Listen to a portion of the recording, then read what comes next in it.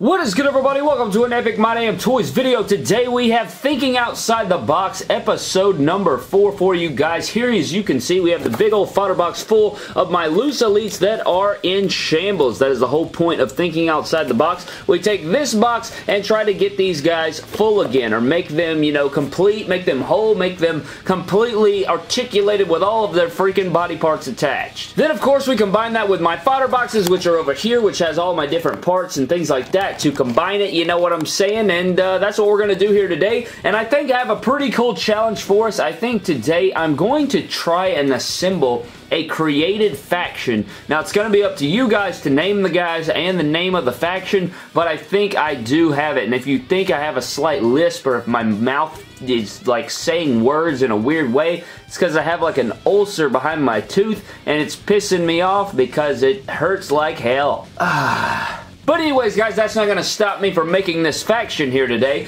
So uh, let's go ahead and shut the hell up and get into this. So I think I have what's going on, and we're going to go ahead and get into that. First of all, this guy's really standing out to me. I don't know why. I really like the big torso. I'm not a fan of this torso per se. However, I think with the blue trunks and everything, I think this is an Elite 47 Tatanka. I really think this could work. You know, he's got the big shoulders on there. I think this will be the big muscle of the group, if you will, and I think this will be really nice. Next up, guys, I really want to use this Ciampa slash Cesaro figure right here, you know, I really don't have a use for it anymore. This head sculpt is trash. Since we got that new Elite 69 Ciampa, I just am not a fan of this head sculpt. So I think I'm going to remove this head sculpt. We may keep it on there, but I think I'm going to remove it. And then all we have to do is find some boots slash knee pads for this guy. And for this other guy, the, the big muscle of the group, I mean, they're both pretty jacked, but this guy's obviously the biggest guy. Uh, we got to get arms, a head, knee pads, and boots. And uh, I think that will be pretty easy. And then for our final guy, I think I'm going to go with this guy. You know, they all kind of look similar. They all kind of have like a uniform look. They're all in the tights. They're all in the trunks. They're both, they're all missing knee pads. They're all missing boots.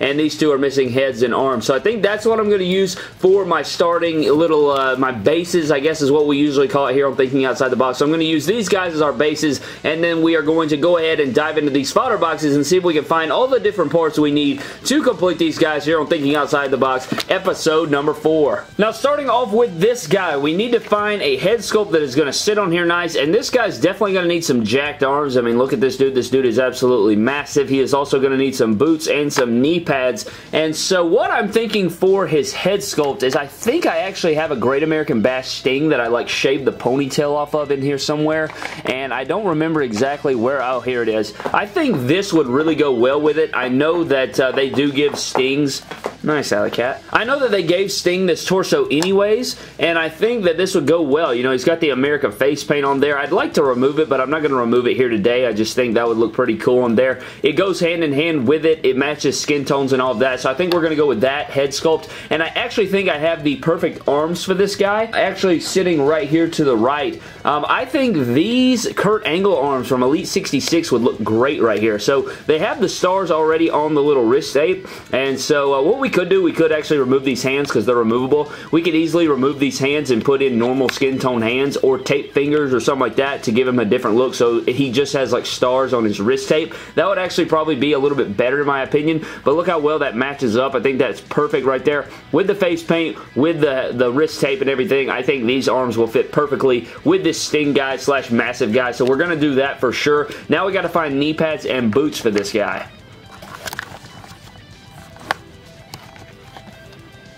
Now over here for boots and knee pads, Alley Cat getting in the way. Completely fine with me. Now she's bumping the camera. Very nice.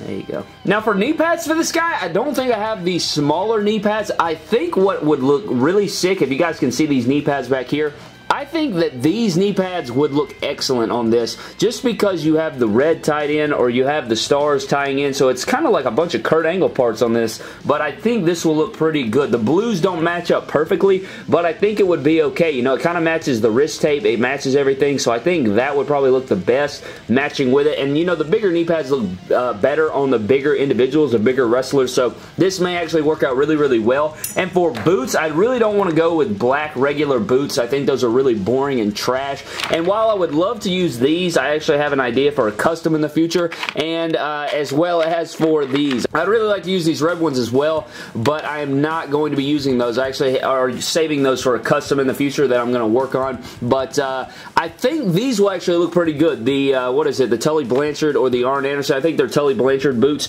with the stars and the red and white. I oh, God. I think these will actually work pretty freaking well, man. So I think we're going to use these, and that is our first guy. I don't even know his name. I guess we can come up with a name for this guy at the end because that's going to be your guys' job. So uh, go ahead and start working on that. We'll see what he looks like at the end. That'll probably help you guys out. But our first guy is completed. Now for our next guy, I'm trying to figure out what head sculpt I want to use. I have a couple ideas in mind for the head sculpt on this, but uh, I think I want to use, uh, I felt like I had like a flashback Jack Swagger in here somewhere. Oh, there it is right there. So I think I want to use this. I, I, don't know. I don't know how well this head's going to sit on this body because this actually has a really long neck peg and I'm not sure how well this is going to go on here. I think it'd look okay once it goes on. We'll just have to find out. But I also think the Stone Cold Steve Austin head sculpt may look good on here. And then also possibly this Seth Rollins head sculpt might also look decent because the skin tone, the older Seth Rollins are actually matching skin tones like that. So we'll just have to see. I don't know. I'm just kind of playing it by ear, seeing what throws together. You know, it may end up looking like trash, but I guess I can just take these head sculpts, set them off to the side. Maybe we can come up with the one that we actually want to use. But that is what we're going to do for the first one. As far as the arms are concerned, looking through the fodder box, I think we're going to return back to these Cody Rhodes arms that we could not fit on that one figure I can't remember, was it action figure surgery or the last episode of Thinking Outside the Box? I can't remember which one it was, but these arms will match really well. These shoulders are pretty big, and this dude's pretty jacked as well to go with our other jack guy, so I think these arms will look really, really nice on this body for this guy. So I'm going to go with these arms to match with that body, and now all we need are knee pads and boots, and I have an idea, I think, I, am not exactly sure, but we're going to have to look at this. Oh my god, the tripad's a piece of shit. Now for these, I think I want to use these Ric Flair boots right here, and these Ric Flair boots, I hate that they say RF on it, so there's two different ways we're going to do this. Either the initials of the faction are going to be RF, or the initials of uh, his character is going to be RF, and then on his knee pads, we're going to use these Daniel Bryan knee pads that say DB on them because the colors and everything kind of flush with the red, black, and white. Either the name of the faction is going to be DB, or his initials are going to be DB. So we got to figure that out, which ones we want, which ones we don't don't want, and I think that would be the best way to do that. So we got to figure out which one of those, and I guess, again, that's up to you guys, but that is our second guy. I think that is what I want to see. Um, we'll, again, we'll have to put all, everybody together to kind of see what they look like, but uh, we'll do that on the surgery portion of the video. But now we are working on our Ciampa guy, and we don't need anything but boots slash knee pads, but the more I look at this, I kind of don't want him to have knee pads. I feel like he would look better. Vomit. I feel like he would look better without knee pads. I really don't know what that is. I just feel like, I, I don't know, this this torso with these arms, he just kind of looks like he'd be badass without knee pads. Am I am I insane? And for some reason, I kind of want to give him all white boots, or I want to give him William Regal style boots.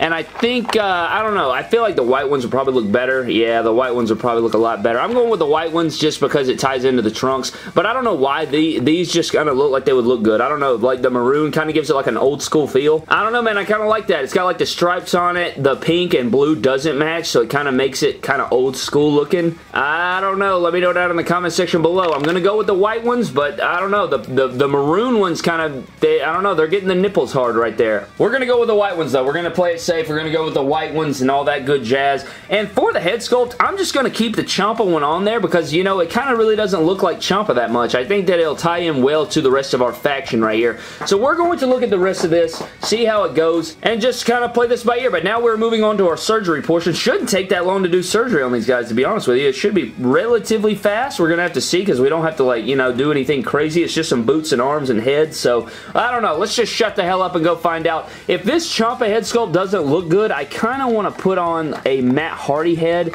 with the ponytail head sculpt, I think. And not like the smiley one, but the pissed off one, you know what I'm saying? Which one is it? It's the, uh, it's like the WWE shop exclusive. I can't freaking find it right now. Where is it? Oh Oh, yeah, this one right here. I don't know, kind of feel like that would be pretty badassery. I don't know. We'll just kind of play it by ear and see. But let's go ahead and move to the backstage area and get some surgery going. Alright guys, it is time for the surgery portion of our video. Now the first thing we need to do is go ahead and put our knee pads on, which is great because, you know, we don't have to worry about the lower legs being attached and, you know, detached and all that. So all we have to do is I think I am going to switch these out for regular hands. I just feel like it would look a lot better. Maybe some tape fingers. I don't know. We'll see about that. I don't like the Graps look for that guy. I kind of want to switch that out. So we're going to definitely switch that out, but we do need to put our um, we need to put our knee pads onto the figures here. So I need to find out which one's right and which one's left.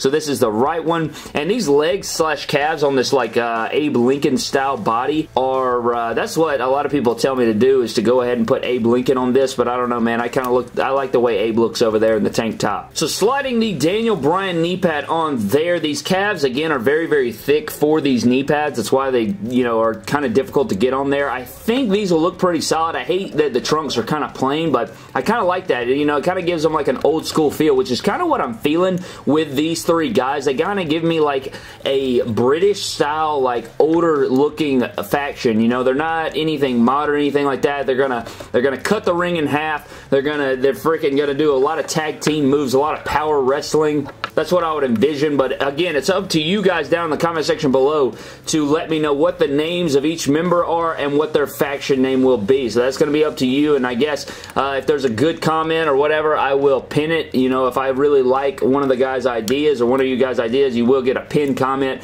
and a heart and a, you know, a reply or whatever because I really want to hear some really cool creative names. So there we are with the knee pads on there. Now we have to go over to our bigger guy, and it looks like this is the right one, so we're going to slide this onto here, and I think that the uh, the bigger knee pads are usually much easier to go on, but Jesus Christ, just not looking like it, is it, Brad? I'm in the process of hanging shelves as well, trying to get everything ready for that room tour, and later on today, I got to do a bunch of ish while filming Hell's Gate. I mean, it's just busy, man. Got the right knee pad, now working on the left, about snapping my finger off right there. It kind of made me cringe, like, just saying that. That just sounds horrendous. All right, you son of a bitch. How about that, huh? Huh? Alright, we got the knee pads on all our guys. Now, actually, we may be able to heat everything up at once. You know, we got the trusty white hair dryer over here ready to freaking go. The Whitekiss hair dryer, the Trey Whitekiss hair dryer, the Whitekiss, what the f am I saying? So, I'm going to attempt the Jack Swagger head sculpt first, and if it sucks eggs, then it sucks eggs, but we don't have to heat up any of these bodies, so we can get these bodies out of here. Um, I'm not going to heat up the Matt Hardy. I'm going to just kind of see how Ciampa looks, but we got to get our boots ready to go. We're going to put our boots here, and then our arms got to be in the way there. Got to build this shit up there and there, and then like so. You just basically got to stack it all up while not making it blow away. Piece of sh. Oh god, I don't like the way this is going, Brad. You already know I'm gonna heat it up, and then the shit's gonna blow away, and then I'm gonna have to curse, and then. Alright, here we go for this fail. God in heaven. Ugh, I don't even want to do it, Brad. I don't even want to do it.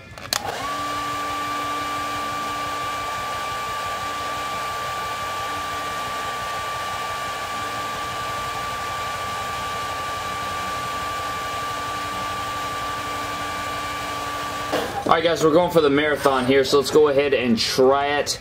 Uh, Jack Swagger head going on this body right here. Got that popped on. Going to the arms of him, sliding this up. Going to try and get this bamboozled. Uh, going to the other arm. These, these arms actually fit this body really, really well, so I'm actually very happy about that. Then we have his boots. Going to go ahead and slide those on right there.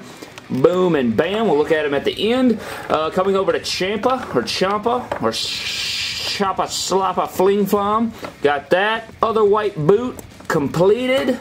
And then to the, the finale, I should say, not the final. Or I guess both words would work, you dumb idiot moron. Come to the other arm, pop that on, go to the boots. Got that. Got that. Coming to the Sting head. And Wallabushka. Alright guys, we got all of our guys put together. Now I guess we're going to go to the next segment where you guys will see what all of these guys look like all up next to each other as the faction that you guys will come up with a name for.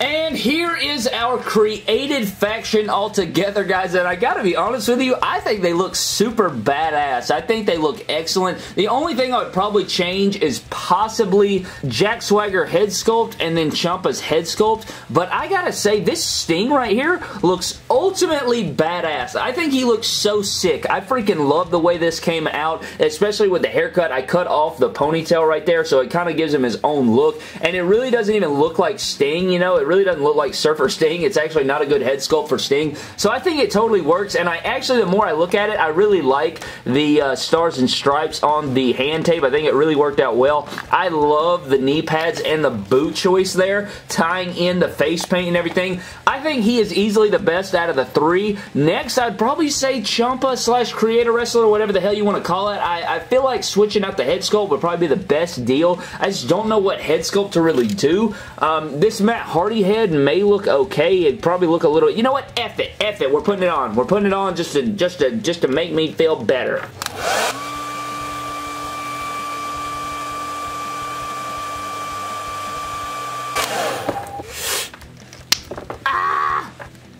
And there we go. We got his head swap right there. What do you think? What do you guys think? Do you like the Ciampa head sculpt better or the ponytail head sculpt? I don't know. The ponytail head sculpt definitely gives him a more uh, created wrestler feel. But ultimately, this guy in the middle looks like a freaking baller. He looks like a beast. But there you go. What's your created faction name? What do you give each guy individually? Comment down below. I will obviously like and heart and comment and reply to the ones that I think are the best names. But I think they look super badass, man. I'm really happy with the way they turned out. The only thing that's unfortunate is that my shelves are not complete so I can't really hang them up just yet. I think I'm going to put the memes and thinking outside the box wrestlers that we create on the same uh, on the same shelf, but I'm still working on that, so I can't put them on the shelf, unfortunately. So uh, I guess we're just going to have to key the part where I put them in the box, which isn't going to be as fun or cool, but uh, it is what it is.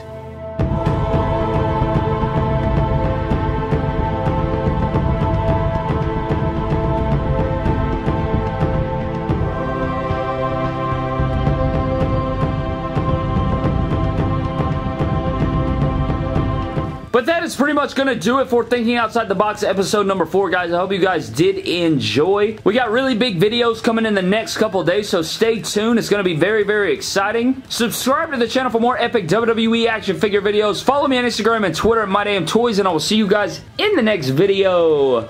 Thank you.